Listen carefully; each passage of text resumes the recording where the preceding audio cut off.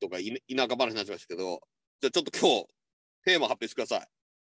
今日は、あの、前回、なんていうんですかね、その変われるのは、こう、結果でしかないっていうところを話してたましたなるほど。で、まあなんかいろんな芸能人の人とか、昔のドラマの話をしながら、そんなドラマの話しましたっけ？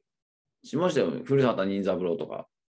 ああ、あの、ひ人が変わるか変わらん、同じになっちゃうみたいな。あ、そうそうそう。あの、セーラー服、ああ、僕が名前間違えたやつ。なんだっけ。このスケバンデカです。あ、そう、スケバネか。羊が言ってたやつでしたっけ？そうそうそうそう。なんか、なんとかじゃあかんぜよみたいな言ってた。そうそうです。それを、まあ言って、で、まあ結果でしかないし、客観的に見,、ね、見ないと結局は分からないっていう話を前回してたましたよね。ああ、そう、正しいかうん正しくないかは、結局、その人が言ったところで変わった、だから私が、N ザ変わったよねって言ったところで、本当に変わったかどうか分かんないう。ん。で、そこであの、なんか中二病の話しましたよね。全能感とか。あ全農家のね。えだからそ、じゃあちょっとそれを F っぽく言うとですね、ええまあもう最近っていうか、もう人間その問題しかないんですよ、ほぼ。えうん。集約されるというか。うん。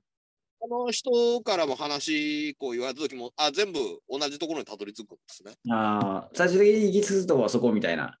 っていうかもう何かっていうと、その、なんつうんだろう、認知の問題なんだと思うんですよ。まあ、サッカーけど、そのパッっていうその瞬間あるじゃないですか。はいはい。瞬間見たときに、例えばフィールドに22人いますけど、うん。まあもちろん立ち位置は違いますよ。キーパーやってる人、場所違うし、ボールのある場所も違うかもしれないけども、うんパッて見た時のその認知ででしか差は出ないんですよ。うん。認知、あ、ここから、ここから本番みたいな感じで 今、やってましたけど。今から本題始まりますか OK です。であのーコップに水半分入れた話って N ザとしましたっけ？コップになんですか？コップに水を半分入れたときに、うん。どういう認知をするかが引き寄せの法則に関わってるみたいな話なんですけど、え？その話しましたっけ？とまあ、よくする話なんですけど、うん。あのーコップに半分水入ってるときに、コップに半分しか水が入ってないって思う人もいれば、あ、そういうことか。コップに半分も水が入ってるって思ってる人もいるわけですよ。もちろん違う認知の仕方する人もいると思うんですけど、だ今がピンチだ、だから同じ事象の時に今がピンチだって思う人もいれば、うん、今がチャンスだって思う人もいるってことですよ。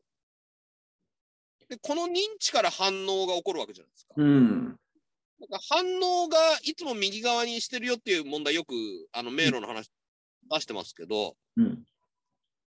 こっちがゴールだっていうなんか認知をしてるわけですなるほど。よ。で認知をするから、うん。その認知に対する反応するわけじゃないですか。うん。だからもう認知なんですよ。うん。で、その回路が速くなりすぎると反射になるんですね。そうそうそう。で、毎回、例えば、こういう人がこういう話をしてきたら、もうピンチだって勝手に思い込んでるから、うん。チャンスの話をその人がしたとき、したとしても、もうその人は、この人がこういうタイミングだ、ミーティングの時に、ちょっと低い声で喋ったら、もうピンチって思い込んでるみたいな。うん。思い込んでるから、本当はチャンスの話してるんですよ、その相手は。うん。もう、自分はもうそれがもうピンチだって認知勝手にしちゃってっから、うん。結果的にもう守りに入るっていう防衛反応入るわけですよ。なんかスポーツの分野で言うと、それは今メンタルが強い弱いみたいな論争になってるやつですね。ああ、だメンタルの強い弱いって、あ、論争になってるんですね。よく言うじゃないですか。メンタルが弱いって。うん。僕はあれ、現場で見ててメンタルの問題じゃないと思ってたんで、お何の問題ですか？あ、もう今言言ってた問題ですね。その、あ状況判断とこう、その場においてのこう、なんていうんですか。要は海外の、いやあのフォワードが点決められない問題もあれ、メンタルじゃないと思ってるんで、うん。